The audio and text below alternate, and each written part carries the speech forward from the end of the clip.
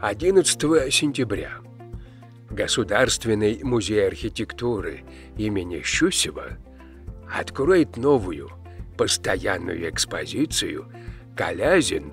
Фрески затопленного монастыря», посвященную результатам многолетней работы по изучению и сохранению уникальной коллекции фресковой живописи Троица Макарьева монастыря.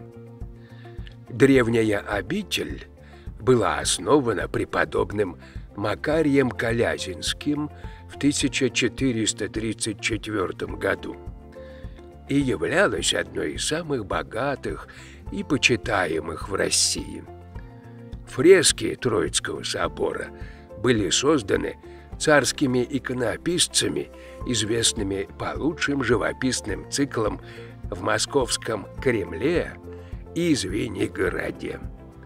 Монастырский ансамбль был уничтожен и затоплен в 1940 году при создании Угличского водохранилища.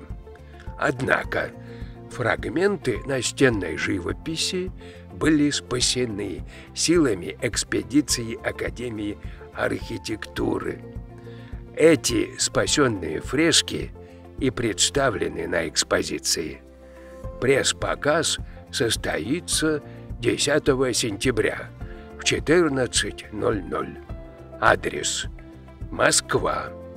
Улица Воздвиженка, дом 5, дробь 25, Муар.